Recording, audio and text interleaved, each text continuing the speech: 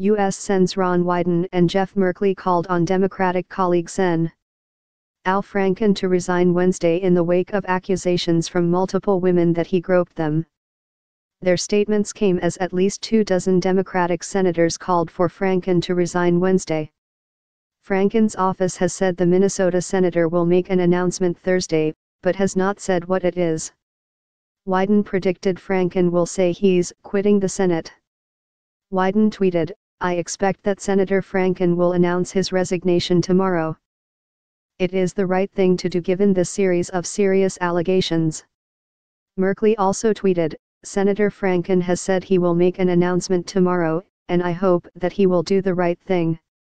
It is in the best interest of our country for him to step aside.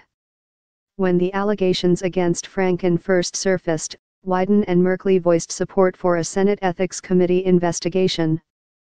Franken has apologized to one woman who accused him of groping and kissing her without her consent before Franken was a senator scores of women have made accusations of sexual harassment against men in powerful positions, in government, the news media, and entertainment industry, after initial reporting exposed decades of sexual misconduct by Hollywood producer Harvey Weinstein.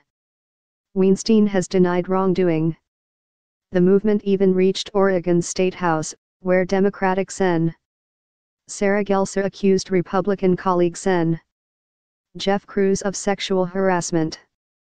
Kruse has denied inappropriate conduct, but Gelser's accusations launched an investigation and Kruse has been disciplined. Gordon R. Friedman. G. Friedman at Oregonian.com.